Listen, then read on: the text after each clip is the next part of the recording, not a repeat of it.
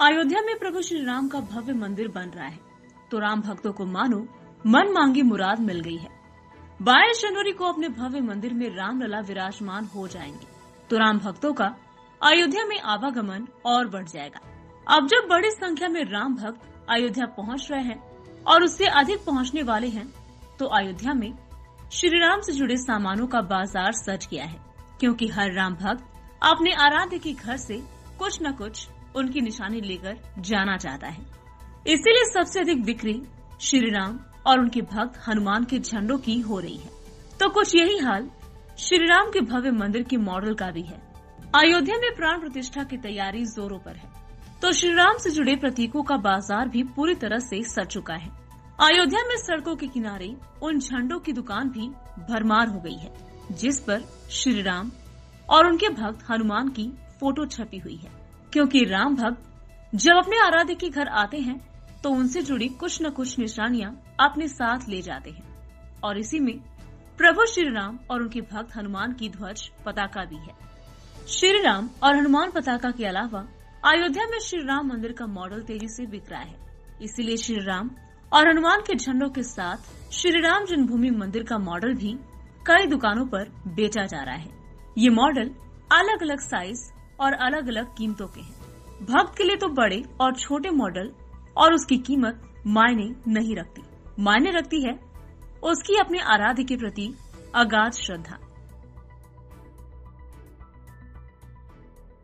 इस वक्त अयोध्या के नए घाट पर मौजूद हूँ और जिस तरह से देखने को मिल रहा है अयोध्या को दुल्हन की तरह सजाया जा रहा है, संवारा जा रहा है, क्योंकि को प्रभु श्री राम जी के प्राण प्रतिष्ठा का कार्यक्रम रखा गया है, जिसमें देश के प्रधानमंत्री मोदी जी द्वारा इसका उद्घाटन किया जाएगा। प्रभु श्री राम जी को यहाँ पर विराजमान किया जाएगा और लाखों की संख्या में लोग यहाँ पर मौजूद रहेंगे।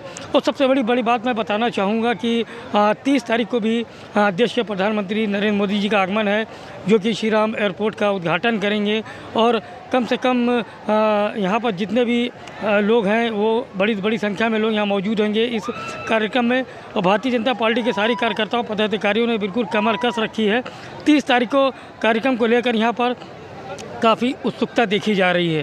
क्योंकि देखिए अयोध्या को विकास की ओर बहुत तेज़ी से लिया जा रहा है। सड़कों पर आप देख रहे हैं कि किस तरह से निर्माण कार्य हो रहा है और किस तरह चौड़ीकरण को लेकर यहाँ पर जो जितने भी कार्यकर्ता हैं, जो भी कर्मचारी हैं, वो बिल्कुल तैनात हैं और बिल्कुल अपने कार्यक्रम को यहाँ पर अपने काम को अंजाम तक पहुँचाने में लगे हुए हैं।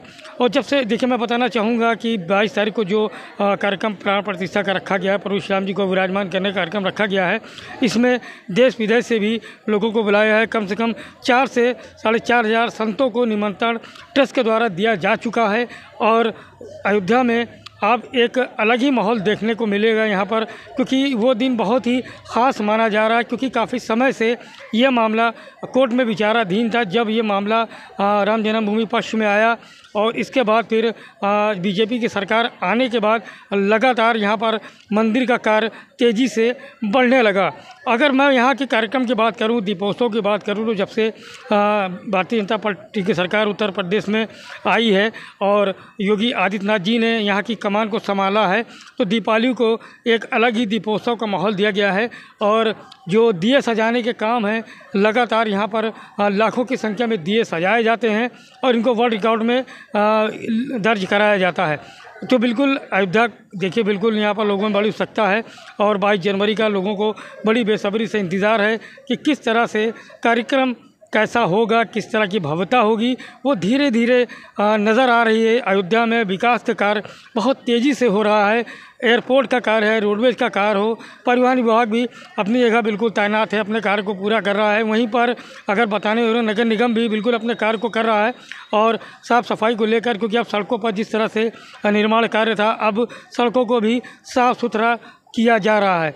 तो अब बाईस तारीख का सभी को है बड़ी बेसब्री से इंतज़ार। और इस वक्त अयोध्या एक भजन से बिल्कुल मंत्रमुग्ध है कि सजा लो अपने गुलशन को।